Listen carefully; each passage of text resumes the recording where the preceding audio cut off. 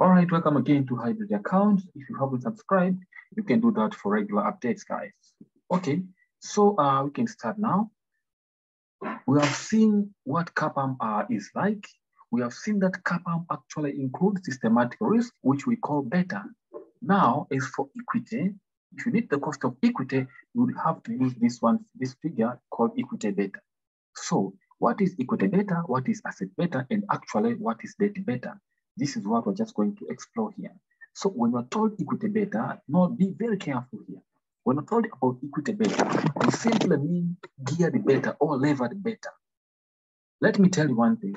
Beta is the measure of risk. All right? If beta is the measure of risk, it is it usually consists of business risk, but it can have both business risk and as well as financial risk. So if you just see the word equity beta, just know that we are speaking of business risk, but also of financial risk. These are the two main points you have to note. See equity beta, we are speaking of business risk, but also we are speaking of financial risk. All right? Business risk is obvious, it's just the risk of operations, right? When doing business on operations, actually you incur you, you encounter a lot of risks. But as for financial risk here, we just mean the use of debt. If you just use debt as a source of finance, you know debt must be repayable, but equity cannot be cannot be repaid. Actually, it's just a matter of directors to decide. But actually, equity is not repayable, but debt is repayable, is mandatorily repayable. So that's why we say if you have equity, you have no financial risk. So a company that is fully equity financed has no financial risk, and it would never have equity beta. All right. So uh, this is what we, we do. And it can be expressed, let's say, in terms of debt to equity ratio. So it can be ungeared. You know, by saying geared beta, we mean that we have used debt and so there is this financial risk. And that's why we call it geared beta.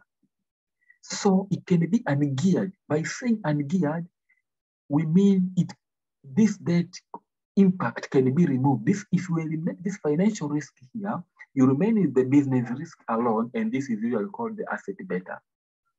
That's why we say it can be ungeared to remove the financial risk and obtain business risk. So if you ungear it, you remove financial risk, you remain with business risk alone. To obtain business risk only, and thus obtain asset beta.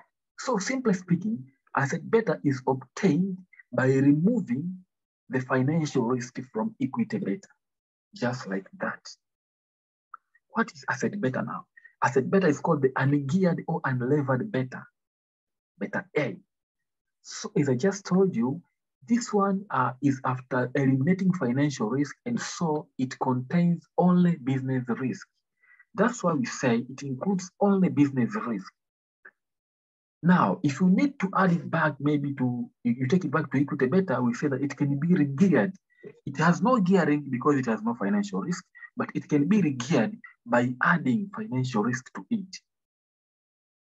So by, by it can be regeared to add back financial risk to business risk and that obtain equity beta. Because if you add financial risk to business risk, you would have both business risk and financial risk, and this one is called equity beta.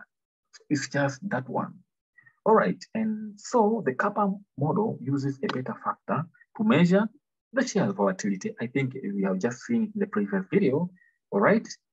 So about the debt beta now, actually there's no much concern here because uh, this one is usually very low. So uh, for this moment, I think we should just ignore it. No time to waste on this one. So it is usually ignored, right?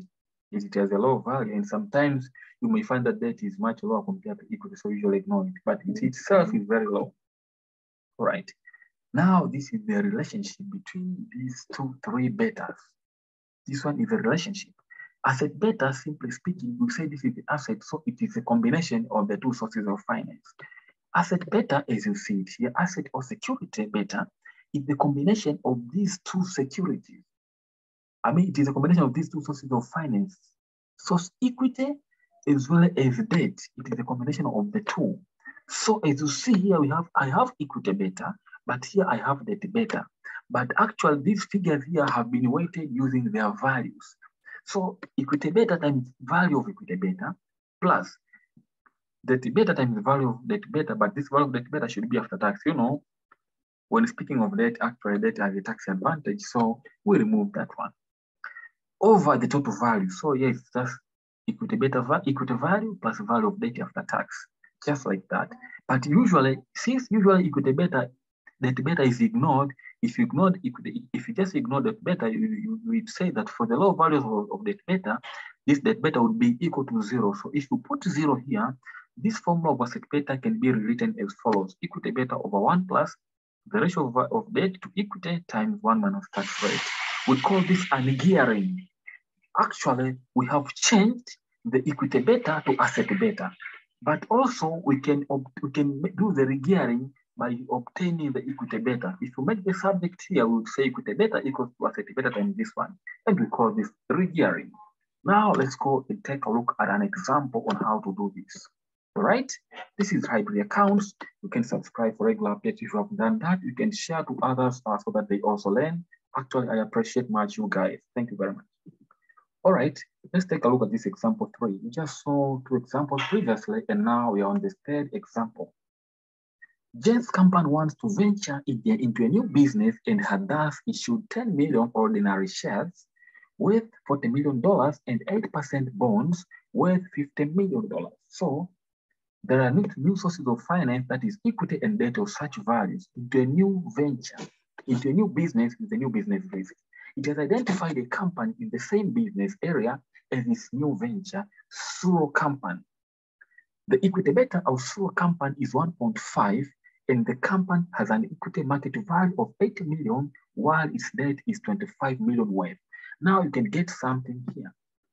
This James wants to invest in a new business but investing into a new business, actually, you when let's say you need to obtain the cost of equity, you have to know the business risk.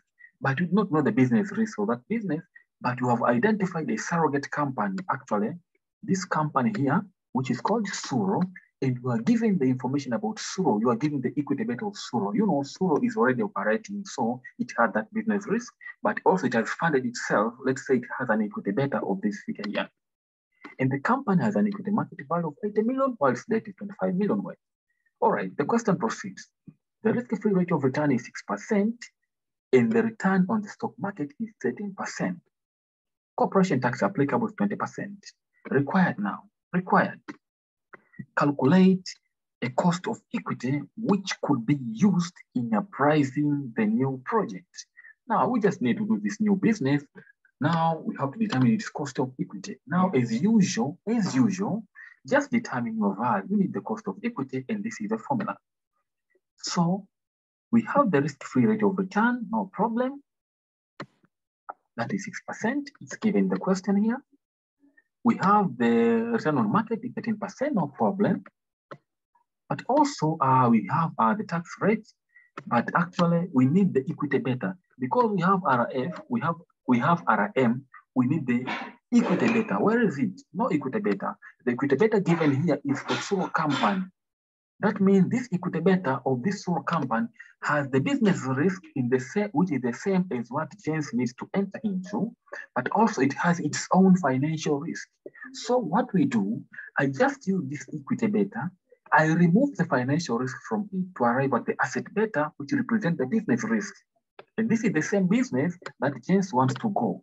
So I can use that asset beta and put then the gearing, re-gear it back to obtain the equity beta that is relevant for James' company.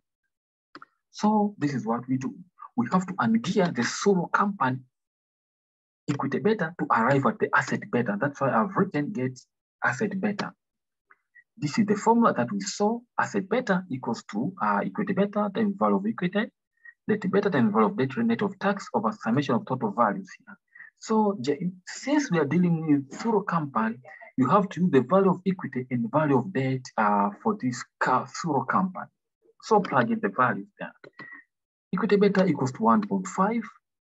Value of equity for this Suro company equals to 80 million. Value of debt equals 25 million. But actually, debt beta is not given, so we say that it is zero. When you multiply by 1 minus tax rate, that is 0.2. Down here, you plug the values. Uh, you have 80 million here, value of equity, value of the 25 million net of tax. All right. After that, actually, you would remain, we will arrive at asset beta of 1.2. And now you can, you have, you only, when looking at this, just know what you have. Do not just claim, oh, I have asset beta. Here I had business risk. In this equity beta, I had business risk and financial risk. Now I've eliminated the financial risk, I've remained with business risk of zero. But since James needs to enter into the same business, this business risk should also be applied actually to James. And so I, had, I just have to regear it to obtain the equity beta. So the same formula, I just used, you just use the same formula here, but now you have the asset beta already is 1.2, so I put the 1.2. I need the equity beta, which is what I need now, times value of equity now for James company.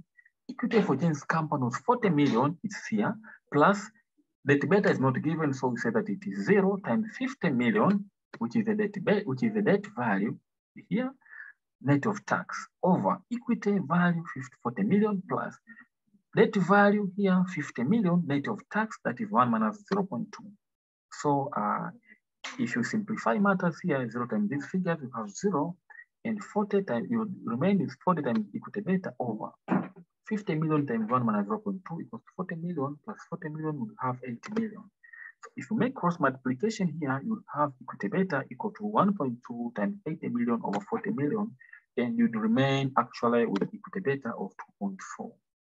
So now I have my equity beta and I can proceed. Okay, so we said cost of equity equals to 6%, which is RF, plus beta, which is 2.4 times RM minus RF, so 13 minus 6, and I would have 7% times 2.4 would be 16.8%, plus 6 uh, would give me cost of equity is 22.8. So I hope you enjoyed this. And again, if you have subscribed, you can do that for regular updates. You can just share to friends uh, so that they can learn. All right, thank you very much. And actually, uh, until next time.